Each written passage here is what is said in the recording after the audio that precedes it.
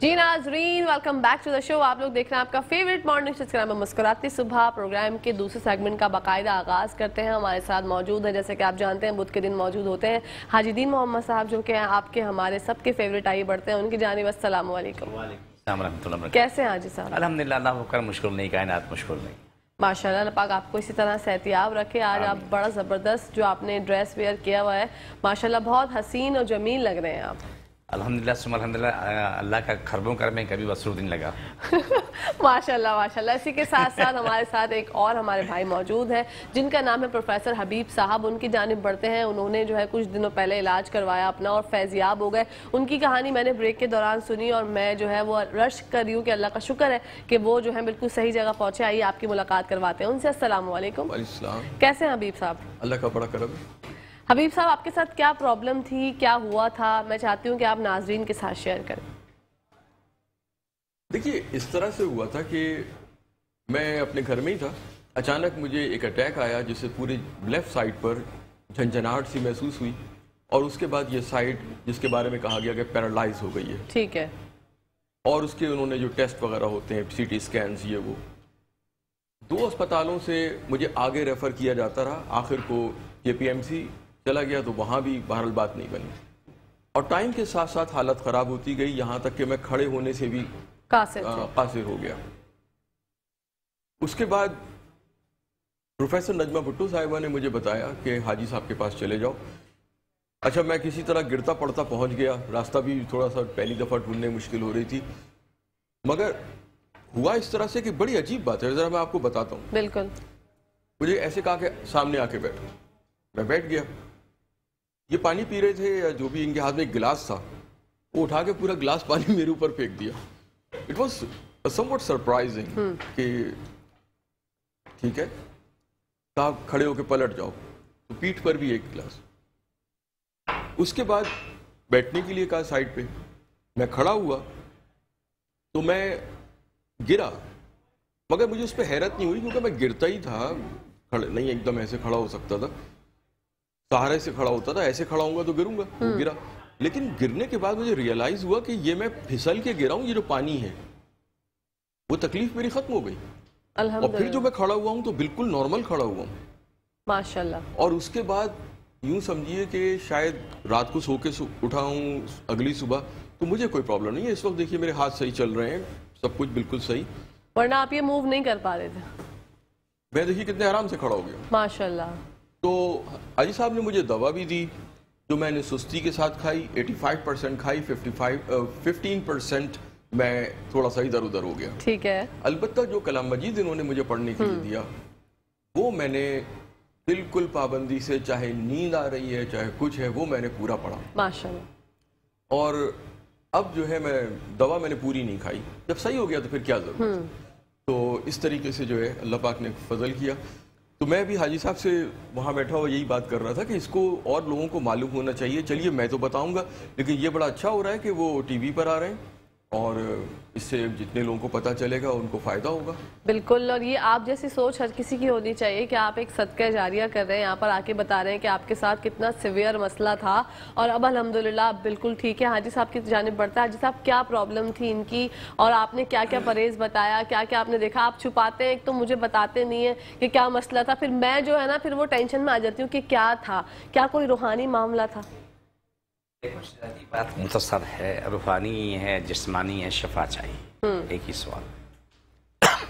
रूहानी में शफा चाहिए जिस्मानी में शफा चाहिए। रूहानी में कलाम इलाही है जिस्मानी में दुआ है। जो मैंने इस्लाम सीखा तालब में पढ़ रहा हूँ उसमें दुआ व दुआ दोनों को साथ लेके चलना हमारे नबी का फरमान है मैं चल रहा हूँ। जो इलाज मेरे पास है मैंने वो इलाज अल्लाह ने मुझे दिया जो मेरे नबी के ज़माने में था। जो आज ये पानी से इलाज हो रहा है ये नबी पाक वसल्लम के ज़माने में ही ये था। ठीक है इसकी थोड़ी हिस्ट्री में देना चाहता हूँ एक मिनट के अंदर। हम्म। जो उलमाए कराम से हमने समझा सीखा हदीस में मौजूद है कि मुसलमानों का एक काफिला एक रात देहात में उनको ठहरना पड़ा जो उस इलाके का मालिक यहूदी था। उसकी इकलौती बेटी को बिच्छू ने काट लिया। हम्म।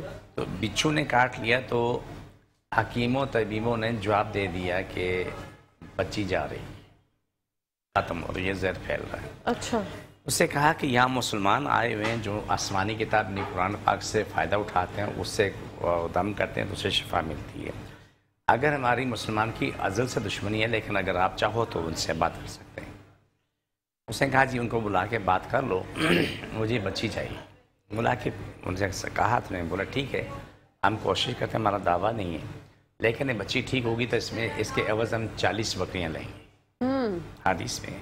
ठीक है। चालीस बकरियाँ लेंगे। उन्होंने कुरान पाक की आयत पढ़ के तो पानी फूक के बच्ची छिटे मारी बच्ची ने आगे खोली बच्चों की बैठी बच्ची को पानी पिलाया बच्ची ठीक हो माशाल्लाह। उनकी खातर तवाज़ु भी हुई। सुबह को चालीस बकरियाँ दी। तो मुसलमानों ने कहा कि ये नबी से मशवरा किए बगैर हमने बात की है। जाके अपने प्यारे महबूब हज़रत मोहम्मद मुस्तफ़ा सल्लल्लाहु अलैहि वसल्लम में मेरी जान कुर्बान हो बोला कि उससे पेश करेंगे अगर उन्होंने कबूल की ठीक है वरना आपको वापस कर देंगे। अच्छा। वहाँ जाके पहुँचे मदीना मुनवरा में पहुँचे तो पहुँचने के बाद उससे कहा कि यारसोल्ला ये सूरत हाल हुई तो आप ही क्या राय है? बोला कि बिल्कुल सही है से मैं ऐसा भी करो। मैं चालीस बकरियों की कीमत तो नहीं ले रहा हूँ कहा दुआएँ ले रहा हूँ। बिल्कुल। क्यों? कि ये उससे ज़्यादा महँगी जो दुआएँ जो है मुझे मिल रही हैं मेरे अकाउंट में जमा होती हैं इनकी कीमत अदा करना किसी के बस में नहीं है मेरे बस में भी नहीं बिल्कुल।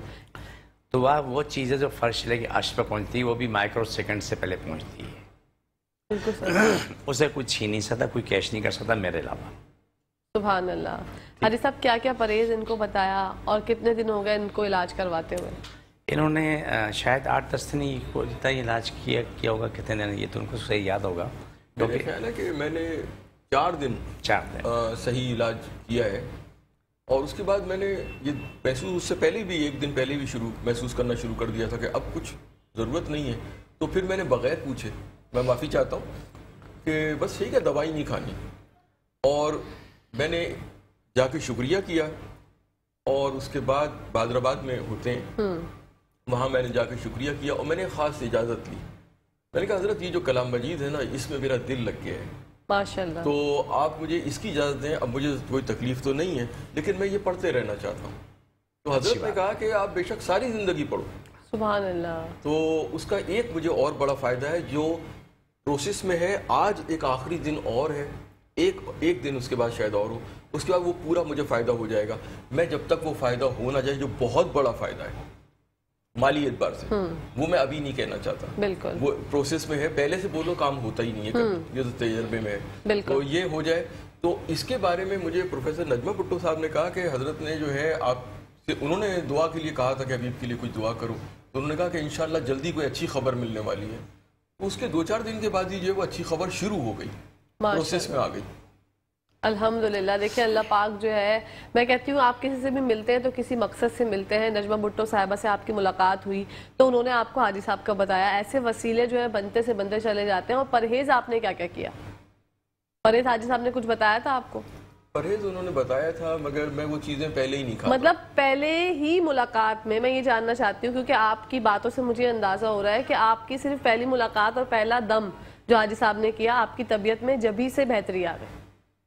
मैं आपको इसकी मिसाल ऐसे करके बताऊँ कि अगर फ़र्ज़ कीजिए कोई चोट लगी है जो कि ख़राब हो रही है पस पड़ गया है, वगैरह वगैरह, अगर वो ठीक कर दी है, जैसे कोई इसको कि अब मज़ीद ख़राब नहीं होगी, वो उस दिन से पूरी ठीक होना शुरू हो जाए, बहुत ही तेज़ी से ठीक होना शुरू हो जाए, चार दिन के बाद वो निशान भी ना हो, इस तरह की कैफियत है। क्योंकि जो मैं यहाँ से गया हूँ तो बहुत अच्छा गया हूँ, रात को सोया हूँ जो सुबह उठा हूँ तो उस वक्त मैं कहता हूँ कि मैं नाइन्टी नाइन्टी परसेंट फिट था। उसके बाद एक दो दिन दवा और खाइए बिल्कुल ठीक माशाल्लाह डॉक्टर्स के पास जो आप गए तो उसमें आपकी अच्छी खासी मालियत भी लगी होगी और फिर उसके बाद आप परेशान भी हुए। फ़ायदा नहीं हुआ। और फ़ायदा तो भी नहीं हुआ। लेकिन हाजी साहब के पास जाके जो है डॉक्टर के पास गया हूँ माली जो भी खर्चात हाँ। वो सब उसके बाद फाइनली उसने मुझे नतीजा क्या दिया कि और कहीं चले जाओ। बिल्कुल। यहाँ तो नहीं हो सकता ये। बिल्कुल। तो फ़ायदा क्या? हाजी साहब के लाखों रुपए लिए हाजी साहब ने फ़ीस? नहीं नहीं कोई पैसा नहीं लिया। अच्छा। वो दवाई है बस। हाँ यही चीज़ हमें पता है लेकिन हम आपसे जानना चाह रहे थे कि लोगों को पता चले कि हाजी साहब से मुलाकात की उनसे मिलने की जो दम करते हैं उसकी कोई फ़ीस नहीं है। हाँ दवाई की फ़ीस है क्योंकि दवाई फ्री में नहीं बनती। तो हाजी साहब आप क्या कहना चाहेंगे कि आपको अल्हम्दुलिल्लाह ये जो हमारे भाई आए हैं हबीब भाई बता रहे हैं कि ये बहुत जल्दी से ठीक हो गए और इससे बड़ी खुशखबरी कोई होती नहीं एक इंसान के लिए। अल्हम्दुलिल्लाह अल्लाह का खरबों करम है। बेहिसाब करम है अक्सरियत फ़ौरन फ़ौरन ठीक हो जाती है। हम अपने पुराने दोनों एक बात कहते हैं कि दर्द वाला दर्द की हालत में आए। बेशक। बुखार वाला बुखार की हालत में आए। अब मेरे पास सस्ता मुस्कुराता हो जाएगा। सुबह अल्लाह ये अल्लाह की करम नाजी अल्लाह की मोहब्बत है। किसी एक रुपया खर्चा नहीं एक पैसा खर्चा नहीं है। दुआओं की दरख्वास्त सबसे की जाती है। अगर वो कोई इस काबिल भी नहीं तो कोई बात नहीं। कोई बात वो दुआ देने के काबिल भी नहीं है ना कि अल्लाह तुम्हारा भला कर दे। तो तब भी कोई मसला नहीं। हम्म। तो जो चीज़ें मैंने आपसे शेयर की हैं इसकी बड़ी बड़ी कीमत है। वो कीमत दुआ है। बेशक। वो दुआएँ रंग बदलती हैं। बेशक। इंसान की ज़िंदगी बदल देती हैं। सब कुछ बदल जाता है। वो फर्श से उठ के अर्श पे पहुँच जाता है। ये दुआ का ही असर होता है। वो दुआ में सब चीज़ें इसी तरह से हो रही होती हैं। तो मुझे हबीब साहब हैं ऐसे आपको लाखों लोग मिलेंगे। अल्लाह ने कोई शफा दी। और मैंने कोशिश की। और अब ने मेरी लाज रखी। माशाल्लाह। इससे आपको लाखों लोग मिलेंगे लेकिन मीडिया पे आके यहाँ सच बोलने के लिए आधा परसेंट लोग भी तैयार नहीं होते। ये बात है। इन्होंने सच क्या जहमत है? बता दें। नहीं बताते ना लोग यही तो प्रॉब्लम है। वो कहते हैं कि लोगों को क्या पता होगा तोबा मुझे कैंसर था। अल्लाह तो क्या पता कि मेरा बच्चा जो है ना माजूर था। तोबा तोबा हमने लोगों से छुपाया हुआ है। हमने पर्दे में रखा हुआ है। बच्चा सीपी चाइल्ड आर्टिस्टिक है सी क्या नाम है आर्टिज्म में शॉर्ट ब्रांड वाला है। लेकिन वो उन्हें कबूल है इलाज कराना भी ठीक है लेकिन लोगों को पता ना चला कि हमारा ये था। देख कितनी बड़ी बदनसीबी है। वो लोग दुआएँ लेने के लिए अरब जाते हैं। हम खाना काबा क्यों जाते हैं? बख्शिश के लिए जाते हैं। मदीना क्यों जाते हैं? बख्शिश के लिए जाते हैं। मस्जिद क्यों जाते हैं? इबादत करके बख्शिश मांगते हैं। अल्लाह के बंदे ये तो किसका भला हो जाए किसकी दुआ तुम्हारे काम आ जाए? बेशक। देखो क्या क्या में छोटी सी मसाल दूँ मैं भी सारे से एक बात कही है। आपने खाना खाया सारे खानों का पेट भरेगा? कभी नहीं। आपने नमाज़ पढ़ ली सबकी नमाज़ हो जाएगी? नहीं। आपने उम्र अदा कर दी पूरे खानदान की उम्र अदा हुए? आपने हज अदा किया तो पूरी दुनिया का हज हो गया? नहीं।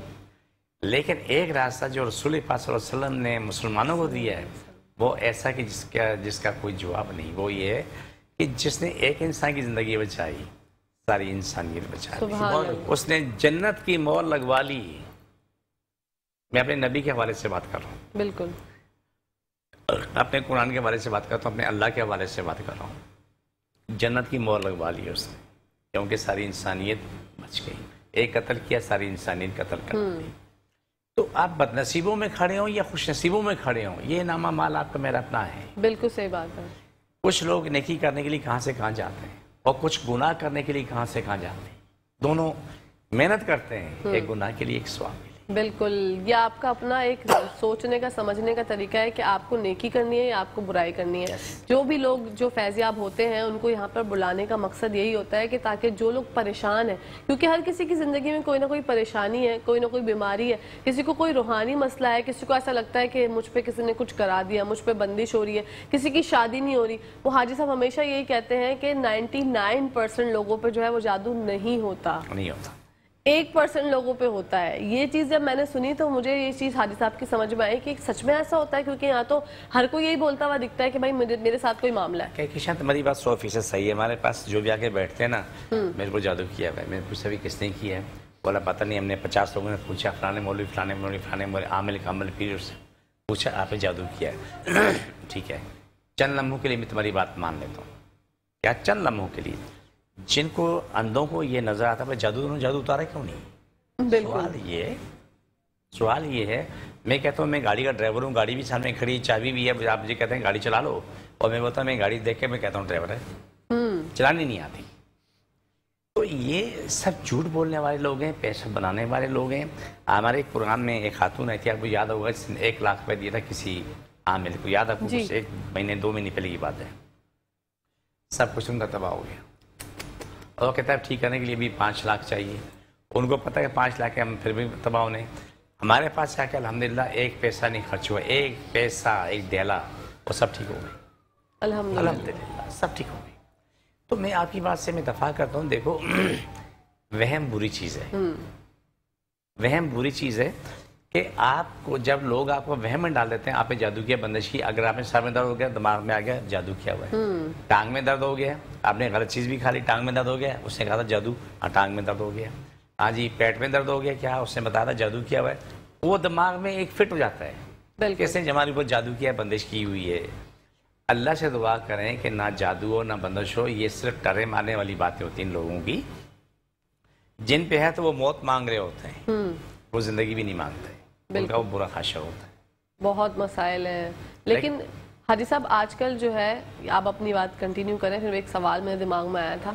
आप फरमाइए। प्लीज़ देखिए देखिए ये जिन जादू की जहाँ कहानी चल रही है ना उनको वहीं पीटना चाहिए। हम्म।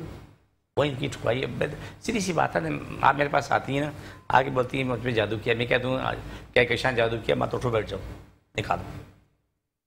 मत जाओ बैठ जाओ। हम्म। जहाँ मुझे बोलता आप जनाते हैं आप मोकलाते हैं आप बोल चल भाई बैठे हैं उठ हटा दें। जब लाखों रुपए तुम ले रहे हो कर कुछ नहीं रहे हो बेवकूफ़ बना रहे हो तो कौन को देखने वालों को अकल होनी चाहिए। बिल्कुल। कोई शख्स मेरे पास आके ये नहीं कह सकता कि उसको मैंने रूहानी इलाज के कभी एक रुपया भी लिया हो। लाखों लोगों का तीस चालीस लाख अफराद का इलाज हो चुका है चालीस साल के अंदर। लेकिन कोई शख्स ये नहीं कह सकता कि मैंने उससे कभी एक रुपया मांगा हो या समझे दिया हो। जड़ी बूटी जो खरीदते हैं उसके पैसे होते हैं। वो ना फ्री में बनती हैं ना फ्री में दी जाती हैं ना फ्री में आती हैं। बिल्कुल। उसके अलावा कोई पैसा नहीं एक दुआ है मेरी दुआ कर लो अल्लाह मुझसे राज़ी हो जाए। मेरी नस्लों के लिए पाकिस्तान के लिए सारी दुनिया के हर इंसान की दुआ मांगो। मैं जब दुआ माँगता हूँ डेली डेली जितनी मरतबा पाँच सौ दफ़ा माँगता हूँ हज़ार दफ़ा माँगता हूँ मैं कुल कायनात के लिए मांग इसी ज़ात पाक के लिए हाँ, आपकी इजाज़त से मैं एक बात कहना चाहता हूँ। जी। जो हज़रत ने अभी ज़िक्र किया कि जड़ी बूटियाँ उनके पैसे तो यहाँ एक बात बतानी है कि जैसे दूसरे मुझे तो अभी पता चल रहा है कि लाखों रुपए ले लेते हैं। जी। इन्होंने तो जो दवा दी है तो डॉक्टरों की दवाओं से भी सस्ती होती है। बिल्कुल। डॉक्टर तो सलामकुम वालेकुम एक सांस लो एक और सांस लो लो पंद्रह सौ रुपए दे दो और बाकी ये टेस्ट करवाओ और दवाइयाँ हज़ारों रुपए की मेडिकल स्टोर से लो। तो ऐसा इनके यहाँ तो कुछ भी नहीं है। बिल्कुल नहीं है। हाँ। लोगों को ये बात समझाने की ज़रूरत है कि आपको अगर ऐसा लगता है कि कोई प्रॉब्लम है, आप जाएँ, बात करें। हाजी साहब तो इतने अच्छे दिल के मालिक हैं कि अल्लाह ना करे, ऐसे कितना ज़िक्र करते हैं कि जो लोग वो भी अफोर्ड नहीं कर सकते दवाई के पैसे, उनके साथ भी कंसेशन कर देते हैं। कुछ ना कुछ जो है अल्लाह की राह में उनके साथ भी जो है मामला हल हो जाते हैं। लेकिन आपको मसला ये कि आप उन तक पहुँचे तो सही, उन तक जाएँ तो सही। हाजी साहब के क्लिनिक का एड्रेस है जनाब चार मीनार चौरंगी बहादुराबाद पर सिलानी वाले और हाजी साहब का क्लिनिक आगे पीछे ये सिलान से कुछ कदम की दूरी पर आप चलेंगे तो अखुनजादा अलहाज अखुनजादा दीन मोहम्मद साहब का बोर्ड आपको दिख जाएगा। थोड़ी सी सीढ़ियाँ चढ़नी है और आपको मुलाकात हो जाएगी हाजी साहब से। अगर आपकी ऐसी तबीयत है या ऐसी कैफियत है कि आप एंबुलेंस में हैं आप ऊपर नहीं आ सकते तो हाजी साहब जो है वो आपसे मुलाकात करने के लिए आपको चेक करने के लिए आप पे दम करने के लिए नीचे भी आ जाते हैं। ऐसा ही है हाजी साहब? बिल्कुल। हाजी साहब एड्रेस भी मैंने सही बताया? बिल्कुल सही बताया टाइम बता देता हूँ। टाइम बता दें रोज़ाना सुबह ग्यारह से रात आठ टाइम होता है। इतवार को सुबह दस से दो का टाइम होता है। इसीलिए हमने एडीएम नेचुरल्स यूट्यूब चैनल बनाया अपना। उसमें ये कि रात जिसको भी रात को देर से किसी वक्त तकलीफ़ होती है तो जो हम स्पेशल कार्ड का प्रोग्राम करते हैं मेरे हर प्रोग्राम में मौजूद है। एडीएम नेचुरल्स हर्ब जो है। तो आप उसको दो दफ़ा देखें दस दफ़ा देखें जहाँ तकलीफ़ हाथ रखें उठाएँ आपको वहीं शिफा मिलना शुरू हो जाती है। बेशक। जैसे मान लो कि उनके सामने बैठा हूँ और उनके दम कर रहा हूँ। बिल्कुल। दो चैनल है ना एक एडीएम नेचुरल है और एक एडीएम नेचुरल हर्ब है। हाँ दो चैनल है। हाँ, एक पे एक पे तो कहना मेरा ये जो- रिकॉर्डिंग होती है पाँच सात मिनट की वो डालते हैं और एक हमारे टीवी प्रोग्राम उसमें डालते हैं। ओके माशाल्लाह। तो आप लोगों के अगर फेसबुक पे भी चल रही है। माशाल्लाह। इंस्टा इंस्टा पे भी है उस पर काम हो रहा है। फेसबुक पे और क्या नाम है डीएम नेचुरल के दोनों चैनल पे और फेसबुक पे हो रहा है माशाल्लाह। दुनिया देख रही है शफा पा रही है। दुनिया जहाँ से लोग आते हैं। अच्छे मज़े की बात होती है दुनिया में कनाडा में ऑस्ट्रेलिया में जर्मनी में अमेरिका में वहाँ बैठे हुए वहाँ से फ़ोन आता है ये तकलीफ़ है। अलहमदिल्ला चंद सेकंड में जॉब उनको आ जाता है चंद सेकंड माशाल्लाह। मिनटों में नहीं उसी लम्हे अल्लाह शफा दे। बिल्कुल और ऐसा भी कभी होता है कि आपका कोई अज़ीज़ है जो कि बाहर ममालिक में है और उनका कोई रिश्तेदार यहाँ रहता है तो आपको प्रॉब्लम वहाँ होगी आपका जो अज़ीज़ अकार है वो हाजिर साहब के पास जाए आपके नाम से जो है दम करवाए तो इनशाला जब आप उनसे कॉल पर बात करेंगे और उनसे पूछेंगे कि आपकी तबीयत में बेहतरी है तो उनको वहाँ पर जो है वो शिफा मिल जाती है और वो बंदा यहाँ पर दम करवाता है। दुनिया किसी भी ऐसे में हो। बिल्कुल। हमारे क्या नाम है वसीम साहब का उनका नाम आसिम। आसिम आसिम। उसका भाई उसको कितने सालों से शोल्डर ये हाथ उसका नहीं उठा था फ्रोजन शोल्डर था। तो ऐसे ऐसे कर था अलहमदिल्ला वो जो उसका भाई ने आके दम कराया वो भाई के नाम से वो हाथ उनका ठीक हो गया। माशाल्लाह। दुनिया में कहीं भी है कोई भी इंसान है किसी मज़हब से भी है आप तो बहुत सारे ऐसे में मामला सामने आते हैं सुन सुन के खुशी होती है। एक साहब ने बोला उसकी क्या नाम है भैंस में मार दी उसको हर अ, डॉक्टरों को बुलाना पड़ता था तो वो आके तो सब अजीब कैफियत होती थी। उससे कि जो हमारा यूट्यूब चैनल का वो प्रोग्राम लगा के एक ने भैंस का सर पकड़ा एक ने उसका पेट पकड़ा वो दर्द खत्म हो गया। माशाल्लाह। उसने फ़ोन करके बताया मैंने बोला भाई मैं जो दुआ मांग रहा हूँ ना मैं कायनाती हर चीज़ की दुआ मांग रहा हूँ। उसमें जानवर भी आते हैं इंसान हैवान देव परियाँ कीड़े मकोड़े चरिंद परिंद सब चीज़ उसमें आ जाती है। बिल्कुल। तो मैं जो मेरी दुआ का मकसद ये है कि अल्लाह कबूल कर ले कि हर ज़िंदा चीज़ को शफा मिल जाए। जो भी है जहाँ भी फर्श अशर तमाम मखलूक़ात को तमाम मखलूक़ात को शिफा मिल जाए। मैं अल्लाह से ये इल्तजा करता रहता बिल्कुल हाजी साहब डेंगी बहुत ज़्यादा फैल गया है मलेरिया बहुत हो गया है। इसके लिए लोग बहुत परेशान हैं क्या करें? डेंगी की तो ये सूरत हाल है कि हॉस्पिटल्स में जगह नहीं है। इस बारे में अगर कोई नुस्खा आपके पास है तो शेयर करें हमारे साथ। बहुत आसान सी बात है। पहली बात तो ये कि अगर कहीं पुराने से पुराना गुड़ मिल जाए। गुड़? गुड़ बहुत पुराना मिल जाए। ठीक है। जिसे कोई देखना पसंद ना करे देखना पसंद ना करे वो गुड़। इतना सा लेके उसे सुबह शाम खिला दो। ठीक है। समझ लो कि तीन चार चने के बराबर सुबह शाम। उसको शुगर ब्लड प्रेशर से इसको छोड़ दो भूल जाओ ये खिला दो। पपीते के पत्ते पका के या ग्राइंड करके उससे खिला दो दो हो गया। किशमिश रोज़ाना चाय का या खाने के चमचों से खिला दो तीन हो गया। कड़ी पत्ता आम मिलता है कड़ी पत्ता उनको धो के दे दो अगर चबा के खाने का मतलब तो चबा के खाए अगर नहीं है तो तीस चालीस पत्ते उसके थोड़ा सा पानी डाल के ग्राइंड करें ग्राइंड करके उसको पिला दें। ये दो दिन के अंदर आपके सामने वो बंदा उठ के बैठ जाता फिरता नज़र आएगा ठीक है ना? तीसरी चीज़ है अनार दाना। अभी अनार आना शुरू हो गए। ताज़े अनार उसको लेके अनार उसको ग्राइंड करके उसको क्या नाम है छान लें। छान के उसमें थोड़ा सा गुड़ मिला लें ताकि खटास कम हो जाए। गुड़ मिला के उसे पिला दें सुबह शाम दो टाइम दे दें बेशक छः छः चमचे दे दें उसके तीन दिन में प्लेटलेट अपनी लिमिट पर जाते हैं। सुबह। माशाल्लाह। ठीक है ना? ये नेचुरल है। मैं देखें मैं ए एडीएम नेचुरल्स का हर्ब्स का बनाने का मकसद ये था मैं चालीस साल हो गए मेरे सर्च करते हुए जड़ी बूटी में मुख्तलि चीज़ों में रिसर्च करते करते तो मैं अल्लाह ताला मुझे दे रहा है मुसलसल दे रहा है। ये तो हो गया। अब आते हैं फौरी कमज़ोरी दूर करने का नुस्खा क्या है? फ़ौरन फ़ौरन कमज़ोरी दूर करने का बेहतरीन नुस्खा ये है कि आप एक मुट्ठी चने ले लो भुने हुए चने लेकिन छिलके के साथ। ठीक है। डेढ़ उशार न बने कि छिलके हटा के खाली चने खाते हैं। वो आधा फ़ायदा फेंक देते हैं आधा फ़ायदा ले रहे होते हैं। बिल्कुल। चने का छिलका है वो इतना बेहतर है जिसे कहते हैं कि सेब का छिलका उसमें उसमें ताकत ज़्यादा है। चने के छिलके में उससे सौ गुना ज़्यादा ताकत है। सुबह सुबह अल्लाह चने के छिलके में जिससे हम फेंक देते हैं। तो एक मुट्ठी वो ले लें उसमें खाने का चमचा किशमिश मिला लें एक से दो खजूर उसमें डालें। खजूर? खजूर खजूर। खजूर दोनों तो छुआरे ले लें। हाँ। तो चने से शुरू करके चना ख़त्म करें।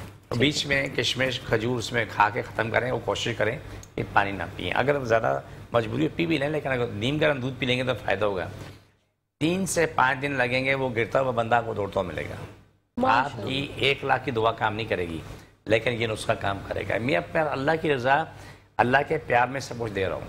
अच्छा बेबी आपकी इजाज़त से मैं एक सवाल पूछ लूँ। जी जी बिल्कुल। ये जो चने वाला नुस्खा आपने बताया है ये डेंगी बुखार के बाद या वैसे भी किसी को कमज़ोर चौबीस घंटे साल के बारह महीने हर कोई इस्तेमाल करे।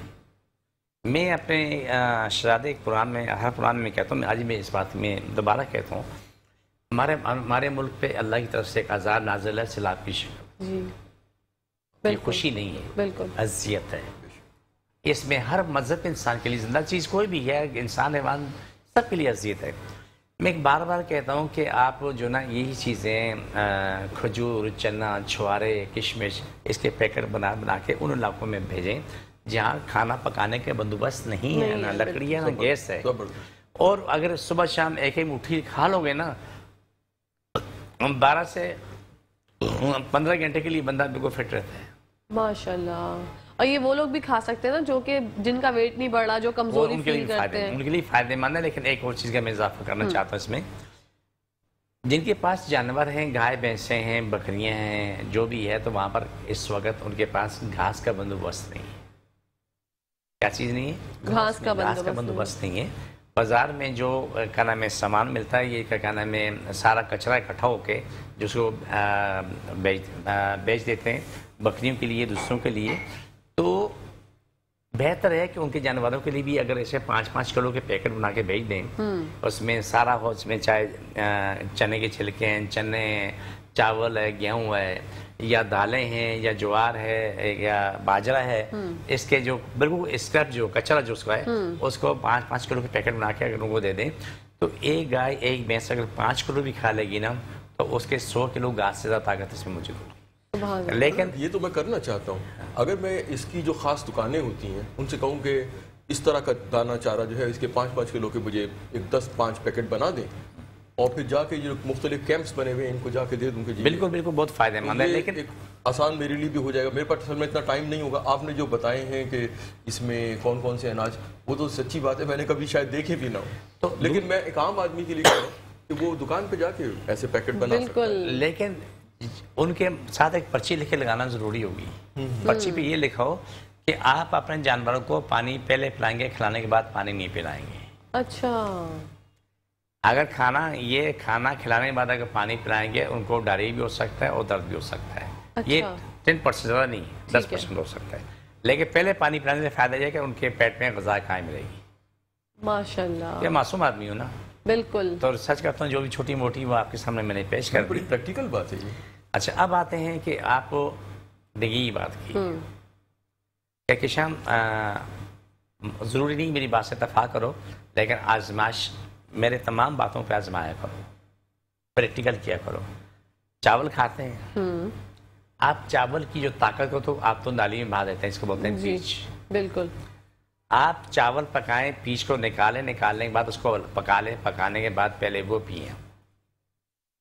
उसके एक दो घंटे बाद खाना खाएँ चावल के। आपके वजूद में ताकत कम नहीं होगी। आप चावल खा के सिर्फ़ आधा किलोमीटर चलेंगे तो आप थक के बैठ जाएँगे। हम्म हजम हो जाता एक रोटी नहीं हजम नहीं कमज़ोर गजा है कमज़ोर है। हम्म। एक रोटी खा लें एक अंडा खा लें हम्म। आप दस किलोमीटर चल पाएँगे। बिल्कुल। ठीक है? इस इस तरह अगर आप पीच इस्तेमाल करें पीच इस्तेमाल करने के बाद आपको कम से कम पाँच मील की ताकत आ जाती है। वाह। मैं इसलिए बोल रहा हूँ कि हम असल चीज़ को फेंक देते हैं। और अपने जायके के लिए वो चावल खाते हैं। या तो दूसरा हाल ये है कि आप पीच फेंके नहीं उसी में चावल के अंदर पानी खुश कर लें। जी। सबसे अच्छा है। इसमें एक नुस्खा मैं बता देता हूँ अल्लाह करे हमारे सुनने वालों को फ़ायदा हो जाए। नुस्खा ये जब भी आप चावल पकाएँ उसमें लहसन डाल दें अदरक डाल दें और लौंग डाल दें। आपके लिए बेहतरीन गज़ा तैयार होती है ना उसमें गैस पैदा होती है ना उसमें कब्ज़ की शिकायत होती है ना आपको क्या नाम है सर में दर्द होता है ना घुटनों में दर्द होता है इन चीज़ों से आप फारग हो जाओ। वाह ज़बरदस्त। लहसुन अदरक और लौंग लौंग ठीक है मतलब अपने खाने में ये चीज़ लहसुन अदरक का तो वैसे भी आप इस्तेमाल बताते हैं हाजी बताते हैं सर अगर कड़ी पत्ता भी डाल दें तो सोने पे सुहाग हो जाएगा। माशाल्लाह। एक कड़ी पत्ते वाली आपने एक रोटी का ज़िक्र किया था काफ़ी टाइम पहले रोटी। वो किन लोगों को बताया था? देखें आ, जिनको मैदे की तकलीफ़ है हम्म। अल्सर है हम्म। सोराइसिस है एक्जिमा है कैंसर है और गैस की प्रॉब्लम है और आँखों का दर्द है दिमाग का दर्द है का दर्द है। उसके लिए कि जो कड़ी पत्ता एक जो एक पेड़ा लेते हैं रोटी पकाने के लिए 20 से 25 पत्तियाँ उसमें गूंद लें। हम्म। और चपाती बना के खाना खाएँ कंटिन्यू रखें। आपका निज़ाम बहाल होना शुरू है specially hepatitis C or B के लिए। ये सोने पे सुहाग है। माशाल्लाह। आपकी दो करोड़ की दुआ काम नहीं करेगी लेकिन ये चंद पत्नी काम कर जाएँगी। तो इनको पीस के शामिल करना साबित। साबित? साबित साबित कर देखें। हमारे पास हमारा शहजादा आपके पास से रिकॉर्डिंग मौजूद है कि साजिद लुकमान लाहौर से आया था। उसकी अभी भी आपस मौजूद है कि उसके नाखन हल्दी आँखें हल्दी पूरे हल्दी दे रही थी। उसका ये आलम था कि उसको देखे तो उम्मीद नहीं थी कि पता नहीं क्या होगा। आज अल्हम्दुलिल्लाह वो अपनी ज़िंदगी में हंड्रेड परसेंट ठीक है। ठीक होने के बाद माशाल्लाह उसने औलाद की तलब की अल्लाह ने उसको बेटा भी दिया। अभी सात सवा साल का बेटा भी हो गया सब ठीक है। उनको क्या प्रॉब्लम थी? हेपेटाइटिस सी कैंसर अल्लाह अकबर। आज हंड्रेड परसेंट ठीक है। माशाल्लाह। उसकी तस्वीरें आप देखो मैं देखता हूँ मेरे पास मैं आपको भेज देता हूँ। देख के खौफ आएगी उसकी मेडिकल रिपोर्ट देखो बिफोर आफ्टर दोनों। माशाल्लाह। दोनों पहली रिपोर्ट की उसमें क्या बाद की रिपोर्ट में क्या उसने सब चीज़ें हमें भेजी हैं माशाल्लाह अल्हम्दुलिल्लाह। रोड से आता हमारे अच्छी पुरानी शरीफ होने के लिए। माशाल्लाह। हाँ, हाजी साहब वो जो लास्ट टाइम आई थी जिनको पेट का कैंसर था वो उनकी तबीयत कैसी है? उसकी तबीयत अब ऐसी है कि भाग दौड़ रही ऐश कर रही है? माशाल्लाह। ऐसी टाइम उनके पास होता है रोज़ाना अपना पेट नापती है दो दो इंच नीचे जा रहे हैं। माशाल्लाह वो आ रही हैं अभी भी बाकायदा इलाज हाँ, के अभी लिए? आज ही कल आएँगी आठ दिन बाद बुलाया था। ठीक है। हाँ, आज ही कल में वो आ जाएँगी इन ताला क्योंकि मुझे वो वो वक्त बड़ा तकलीफ़ वाला। तो जैसे बैठी एक हाथ स्टूल में बैठी दूसरे हाथ रखा ऐसे वो टेढ़ी होगी बेटी क्या हुआ? बहुत तकलीफ़ है बैठ नहीं सकती। अल्लाह आज वो ठीक ठाक है। अल्हम्दुलिल्लाह, इसी के साथ साथ हाजिर ब्रेक का टाइम आ गया। ब्रेक से वापस आके बात कंटिन्यू करते हैं। नाजिन कहीं जाएगा, मैं देखते रहिए, मुस्कुराती सुबह।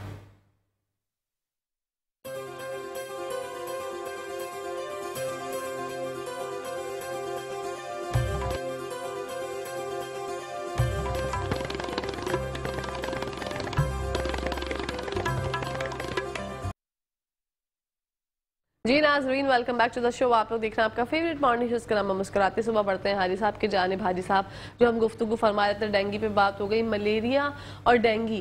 क्योंकि लोगों को समझ नहीं आ रही होती, मलेरिया की अलग दवाइयाँ होती हैं, डेंगी की अलग दवाइयाँ होती हैं, और डेंगी में तो आजकल जो है, वो लोग दो गोलियों के पीछे बिल्कुल टूट गए हैं, जो कि हम पेन किलर खाते हैं, और वो आजकल मार्केट से शॉर्ट है। तो लोग अब क्या करें? क्या इसका एहतियात बरतें? और क्या क्या आप समझते हैं कि किस तरह से हम डेंगी मच्छर से जान छुड़ा सकते हैं? बड़ा आसान काम है।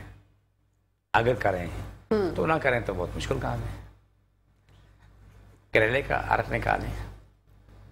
रोज़ाना उनको चाहे मलेरिया है डेंगी जिस मामले में भी वो बीमार है उसे देना शुरू करें। करेला थोड़ा सा ग्राइंड कर लें थोड़ा पानी डाल के ग्राइंड करने के बाद निचोड़ के दो चार चमचे खाने के या छः चमचे पिला दें एक टाइम में। दिन में दो दफ़ा तीन दफ़ा पिला दें। दो दिन की मेहनत है जान छूट जाती है बुखार से। माशाल्लाह। एक काम हो गया। करेले से कभी कभी किसी को मोशन आ सकता है लेकिन करेले का पानी जिनको मोशन है वो इस्तेमाल नहीं कर सकते। ठीक है। मैं रिपीट कर रहा हूँ जिनको मोशन हो रहे हैं वो करेला इस्तेमाल नहीं करेंगे। ठीक है। क्योंकि एक आध मोशन से भी वैसे आ सकता है। अगर किसी को इसमें एक दो मोशन आते हैं तो कोई हर्ज नहीं अगर इससे ज़्यादा हो तो एक काम और कर लें। करेले के पानी में आधा चमचा तुख्म बलंगे या आधा चमचा इसबोल भूसी मिला के पी लें मोशन की कहानी वहीं ख़त्म हो जाती है। माशाल्लाह। ठीक है? ठीक है। तो ये बुखार चाहे मलेरिया टाइफाइड है कुछ भी है इसके लिए बेहतरीन चीज़ है। एक और चीज़ बता दूँ। क्या कि शायद एड्रेस साथ बताता हूँ। हम्म। गुलो की बेल है। मलेरिया डेंगी टाइफाइड के लिए वो अजीम दवा है जो कि, कि मेडिकल में कहीं नहीं मिलेगी। अच्छा। आपको अमीर खुसर रोड पे रोड पे ऐसे तारों में लिपटी मिल नज़र आएगी। वहाँ पर भी है आ खान के पास बहुत ज़्यादा है। जब यहाँ मोड़ते हैं क्या नाम है मशर तरफ़ मुड़ते हैं कोने में बहुत बड़ी फैली हुई है। इस तरीके से बलोचनी पुल के नीचे है और बहुत सी जगह पे है शेरी मिले रोड पे भी है। मैं एड्रेस इसलिए बता रहा हूँ किसी को लेने में आसानी हो ताकि पहुँच सके। उसके पत्ते और इतनी सी शाख चार छः इंची शाख उसको काटो। पहले ऐसे हल्का धो लो फिर बारीक बारीक काट के उससे दो गिलास पानी डालो पक के सिर्फ़ एक कप रह जाए। ठीक है। कप रह जाए तो वो नीम गर्म से ज़रा तेज़ गर्म हो उसे पिला दो। सुबह शाम सुबह शाम एक एक कप पिला दो। कितना पुराना अगर बुखार है तो ये सात दिन से ऊपर नहीं जाएगा। माशाल्लाह। हड्डियों का बुखार आपके जोड़ों का बुखार बोलते हैं ना अलग अलग बुखार आप ही लोगों से सुनते हैं आने वाले मरीजों से बिल्कुल। कि जोड़ों का बुखार है हड्डियों का बुखार है। और ये अजीब अजीब जो सुनते हैं उनकी हवाले से मैं बात कर रहा हूँ। आप कोई भी इंसान है वो अपनी ज़िंदगी में आ जाता है। इंशाल्लाह। मैं नेचुरल चीज़ें क्यों बता रहा हूँ? इसमें साइड इफ़ेक्ट नहीं। और इसके असरात लाजवाब है। बिल्कुल। बेहतरीन असर करती दवा सिवाय उन लोगों जिन्होंने ज़िंदगी कॉर्टिजोन पे गुजारी हुई। जहर पे जो चल रहे हैं मुसलसल स्ट्रेट पे चल रहे हैं मुसलसल उनके लिए असर भी करती है ऐसा नहीं। लेकिन आम आदमी की नस्बत वो थोड़ा फ़र्क रखती है। जो लोग ये कॉर्टिसोन के आपने ज़िक्र किया स्टीरॉयड का ज़िक्र किया जो लोग अपनी ज़िंदगी को खुद से ख़त्म कर रहे हैं उनको आप क्या कहना चाहेंगे कि उसके बाद तो उनके ऊपर कोई चीज़ असर ही नहीं करती? देखिए एकदम वो बंद करना मौत को है। नहीं अच्छा एस्ट्रोडाइट कोई शख्स गलती भी ना करे बंद करे हमारे पास मरीज़ आते हैं पहले पूछता हूँ आप क्या खा रहे हैं?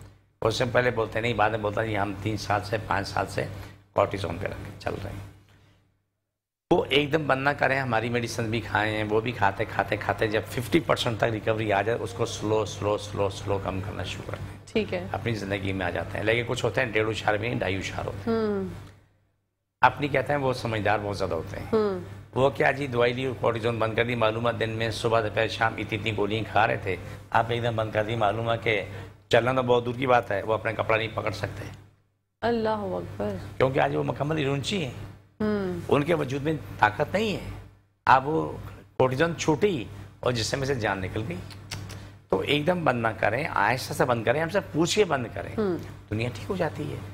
हम जो कहें उस पर अमल कर लें तो कोई मुश्किल नहीं। लेकिन जो अपनी समझदारी शुरू कर देते हैं बोले हमने क्या कहा ये करें तो वो कर लें। अच्छा मज़े की बात है। अल्ले से बे की खबर नहीं लेकिन वो पी एच डी बोलेंगे हमने सारे कामों में पी एच डी की अल्ले से बेकी खबर नहीं होगी। लेकिन वो हर काम में बोले हम एच डी हैं। तो ये ये लोग बहुत नुकसानदेह होते हैं अपनी ज़ात के लिए भी और दूसरों की ज़ात के लिए भी। दुनिया को तबाह करने के लिए ये काफ़ी होते हैं। अगर कोई अच्छा काम कर रहे हैं जिससे किसी को भला हो रहा है तो वहाँ तो एक दफ़ा नहीं सौ दफ़ा नहीं एक लाख दफ़ा भी करो। लेकिन जब तुझे कुछ पता ही नहीं है यहाँ सुन के वहाँ छोड़ा वहाँ सुन के वहाँ छोड़ा दूसरी सुन सुना के किया तो वो मैं छोटी सी मिसाल देना चाहता हूँ हम्म। क्या किसान में। बिल्कुल। मैं एक दफ़ा टीवी देखने का प्रोग्राम टाइम बहुत कम ही मिलता है। कभी कभार ऐसा होता है कि कई दिन तो खबर भी नहीं सुनते। हम्म। मसरूफियत में मेरी इतनी ज़्यादा होती है। एक साहब थे वो पेंट शर्ट में हकीम साहब थे उसने टांग पर टांग की थी। वो टांगे हिला रहे थे बता रहे थे जो डॉक्टर मना करे वही खाओ जो मना करे वही खाओ। तो आप ठीक हो जाओगे। किसी चैनल का मैं आपको ऑफ़ द रिकॉर्ड बता दूँगा। ठीक है। लोगों ने खाना शुरू कर दिया और सैकड़ों लोग अस्पताल पहुँच गए। अस्पताल पहुँचे तो वहाँ शायद मेरा ख्याल है कि वहाँ पर शायद ठीक ठाक क्लास हो गई और प्रोग्राम रिपीट नहीं हुआ। हम्म। प्रोग्राम रिपीट नहीं हुआ फिर सेकेंड डे फिर किसी ने माफ़ी मांगी नहीं मांगी पता नहीं लेकिन मुझे टाइम लेकिन ये इसलिए कह रहा हूँ कि किसी की बात को सुन के थोड़ा सोच लिया करो। मैं भी कहता हूँ ना सोच लिया करो। मैं आपको आप किसी को दुआ बताऊँगा पहले पूछता हूँ। हम्म। फिर मैं जब अगर आप पे पुराने बैठता हूँ फिर मैं इसी वजाहत करता हूँ इसको खाना चाहिए इसको नहीं खाना चाहिए। बिल्कुल। इसके साथ क्या मसला है? उसको ये दुआ इस्तेमाल कर हम्म। सकता है ये नहीं कर सकता ये देख दुआ है वो सब इस्तेमाल करें मैं भी इस्तेमाल करूँ वहाँ इस्तेमाल करें उससे शुगर है ब्लड प्रेशर है हेपेटाइटिस सी है वो सबके लिए इस्तेमाल करें। लेकिन जिनको हेपेटाइटिस सी है कुछ दवाइयाँ उसके लिए मना है। अच्छा। एक औरत हमल से है उसे हम करेले का जूस नहीं दे सकते। हम्म। क्यों नहीं दे सकते कि उसका बच्चा ज़ाया ना हो जाए? ठीक है? बड़ी हार्ड फ़ायदेमंद चीज़ है। लेकिन पहले उससे कंडीशन पूछेंगे। उसी क्या कंडीशन है? पूछने के बाद अगर देने का काबल है तो मैं कहूँगा कि ठीक है बीबी आप दो छुट्टी बड़ी हार्ड का पाउडर ले लें। एक मजबूरी आ जाती है मैं आपसे वो शेयर कर लेता हूँ। हम्म। जिन औरतों को हमल से होती है उनका बीपी कंट्रोल नहीं होता। ठीक है। ये बड़े काम की बात बता रहा हूँ। बीपी कंट्रोल नहीं होता है। हम्म। वो दो चीज़ें लाजमी करें। गर्म चीज़ें इस्तेमाल ना करें। आलू चावल नींबू इमली चार कोल्ड ड्रिंक आइसक्रीम का ये इस्तेमाल बड़ा गोश्त है दालें छोड़ दिए करें। हम्म। बड़ी हड़ का पाउडर सुबह दोपहर शाम दो दो छुट्टी लाजमी लें। जिनके हमल से हैं और बीपी कंट्रोल नहीं है। कड़ी पत्ता दिन में तीन चार दफ़ा बीस तीस चालीस पचास पत्ते चबा के खा के पानी पी लें या उसको ग्राइंड करके तो वो पी लें।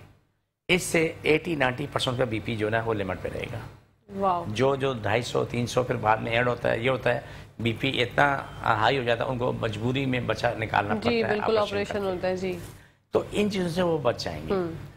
तीसरी चीज़ ये होती है कि आप कभी भी कभी भी ये कभी भी नहीं कोशिश करना कि जिसका बीपी हाई है तो वो गर्म चीज़ें खाना शुरू करें। ये गलती ना करें। ठीक है। जिसका बीपी हाई है गर्म चीज़ें उसके लिए जहर कातल है। जिसका बीपी लो है वो ठंडी चीज़ें खाने की कोशिश ना करें। उसके लिए वो जहर है क्योंकि लो बीपी में ठंडी चीज़ें उस बीपी को और कम कर रही होती ठीक है ना? ये इन बातों को मैं इसलिए बता रहा हूँ कि हमारे माशरे में एक सितम जरीफी ये देखी है कि जो भी आता है वो अपनी मर्ज़ी की आता है। कुछ नहीं थोड़ा खा लो। अरे कुछ नहीं हाँ। खा लो। कुछ नहीं थोड़ा खा लो चख लो चख लो चखते चखते चखते मालूम है अस्पताल पहुँच गया। बिल्कुल ऐसे ही होता है। आप वो जिसने अस्पताल पहुँचाया तो उसे पूछो नहीं मैंने तो कुछ नहीं कहा मैंने थोड़ा खा लो। और भाई उसका था ये हाल अस्पताल में दाखिल है खातून। और उसको कहना बीपी इतना हाई है कि वो उसको ऑपरेश करके बच्चा कर। और तो क्या हुआ था? मैंने तो खाली तो कहा था कि दो पीस मछली खा लो। और क्या नाम है वो बनाए कि बोटी बन गई थी बड़े गोश्त की। तो मैंने तो उसको एक प्लेट रोटी खा लो। खातून अमल क्या नाम है हमल से है पेट में बच्चा है दो प्लेटें अगर बोटी उसने खा ली बड़े गोश्त की उसका अंजाम क्या निकलेगा? छूट करेगा ब्लड प्रेशर तो ये चीज़ें मैं इसलिए बता रहा हूँ जिन खातन के साथ ये मसले हैं वो इसको छोड़ दें। हम्म। खास तौर पे जिन खातन को लेकोरिया पानी की कंप्लेन है वो भी गर्म चीज़ें छोड़ रहे हैं उनके लिए उनके हक में यही बेहतर है। ठीक है। क्योंकि बहुत से यहाँ के जो सच बोलते हैं उनका इलाज हो जाता है। हम्म। जो छुपाते हैं झूठ बोलते हैं। झूठ बोलते हैं उनका इलाज आसान नहीं है। हाजी साहब वीट एलर्जी के बारे में मैं चाहती हूँ कि आपसे ज़िक्र करूँ। आप बताएँ आपकी रिसर्च क्या कहती है? क्योंकि आपने मुझे बहुत दफ़ा बताया कि आपके पास ऐसी दवाइयाँ हैं कि वीट एलर्जी जिस जिस पेशेंट को होती है मैंने देखा अपने इर्द गिर्द में आज- आजकल ये मसला बहुत ज़्यादा लोगों को होता जा रहा है। कह के शाह अलहमदिल्ला अलहमदिल्ला पर मुश्किल नहीं कायनात मुश्किल नहीं। वीट एलर्जी पूरी दुनिया में नाकाबले इलाज मर्ज मेडिकल में। ठीक है। इसमें मेडिकल में। मेडिकल मैं किसी का नाम नहीं ले रहा हूँ। लेकिन हमारे पास हज़ारों मरीज़ कहना ठीक हुए आज वो गंदम नहीं खा रहे हैं। जब उसका इलाज शुरू होता है इलाज शुरू होता था जब उसको आ, गंदम शुरू होती है वो जब खाना शुरू कर देता है जब वो गंदम उनको कब्ज करने लगती है। हम्म। जो गंदम सूंघते ही जाके मोशन करते हैं। खाना बहुत दूर की बात है। सिर्फ़ सूंघ लें रोटी रोटी सूंघ के वो वाशरूम भागते हैं। हम्म। और अंजाम ये होता है जाके उसको हॉस्पिटल लगता है ड्रिप में लगती हैं उसमें इंजेक्शन डालते हैं। लंबी लंबी कहानी। अलहमदिल्ला सुबह अलहमदिल्ला अल्लाह आपका बेहिसाब करम है खरबों करम है। दुनियाती शिफा पाती में एक हमारे बड़े करीबी जानने वाले क्योंकि वो हमारे पास वो उनका इलाज हो चुका है। तो नाम नहीं लूँगा उसको दुनिया जानती है। है। बहुत मशहूर लोग हैं। ठीक है। वो जो उनका चचा लगता है डॉक्टर साहब है। हम्म। मेरे पास अहमद नाम एक बच्चा था। वो इलाज के लिए लेके आए। उसको अगर रोटी सूंघ भी ले तो वाशरूम में उनके पास बहुत दफ़ा दिखाया आए गए दिखाया साहब उसने बोला कि देखो हमने सौ वर्कशॉप की मैं उनकी ज़बानी सुना रहा हूँ। अमर की वालदा की ज़बानी सुना रहा हूँ। कि सौ वर्कशॉप किए। अगर कहीं से इसका इलाज अगर आपकी नज़र में आए तो हमें ज़रूर बताना कि हम बड़े परेशान है कि वीट एलर्जी का इलाज नहीं।